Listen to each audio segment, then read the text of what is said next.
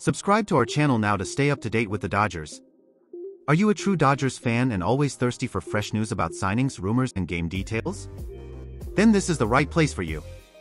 Our channel is committed to keeping you informed in real time about everything involving your favorite team. When you sign up, you'll get exclusive access to constant updates, in-depth analysis and insights into the Dodgers' every move. Always stay ahead of the news and get ready to be thrilled with each of your team's achievements. Plus, here's an extra reason to join us, all monetization funds generated by this channel will go towards helping poor countries in Africa. Your subscription not only provides you with quality content, but also contributes to important humanitarian causes. We count on your help and support, fans. Together, we can make a difference both in the world of baseball and in the lives of those who need it most. Just click the sign up button and be part of this incredible journey. Come on, sign up now and be part of this team that cares about sport and the world.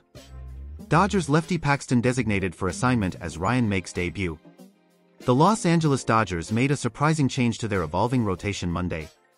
Veteran James Paxton of Richmond, BC, was designated for assignment to make room for River Ryan on the 40-man roster.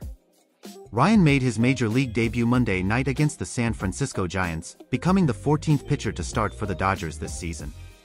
Paxton was tied with Gavin Stone and Tyler Glasnow for most starts on the team with 18. The veteran left-hander was 8-2 with a 4.43 ERA. The 35-year-old Paxton signed a 7 million US dollars one-year contract during the offseason. He allowed two runs over five innings in Sunday's 9-6 victory against the Boston Red Sox. Los Angeles manager Dave Roberts said with the return of Glasnow and Clayton Kershaw from injuries this week along with some young arms the Dodgers want to look at, it was tough finding a fit for Paxton the rest of the way. It was a difficult decision, he handled it like a pro, Roberts said. Uh, we feel good about the starting staff going forward. Glasnow, who went on the injured list July 9 due to back tightness, will be activated and start on Wednesday.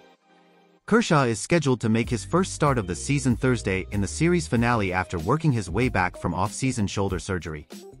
Even with the returns of Glasnow and Kershaw, the Dodgers are still missing Walker Buehler, right hip inflammation, and Yoshinobu Yamamoto, right rotator cuff. Buehler will throw a bullpen Tuesday before making a couple of minor league rehab starts. Yamamoto isn't expected back until possibly late August. Justin Wrobleski and Landon Knack are two of the younger pitchers the Dodgers want to see more. Knack will start Tuesday night. With the July 30th deadline looming, the Dodgers are likely to find a trade partner for Paxton.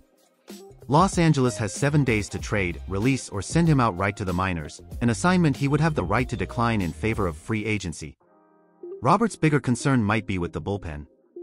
Roberts indicated he is likely to go with a closer by committee approach due to Evan Phillips' recent struggles. Phillips has allowed 10 runs, 9 earned, in his last 8 appearances and has an 11.05 ERA since June 30th. He gave up 3 runs in one-third of an inning on Sunday against Boston. For me, the command is just a little bit off. Over the past couple weeks, he was one pitch away from having a good outing, Roberts said about Phillips. We need him to be good, and it's our job to get him back to being who he is.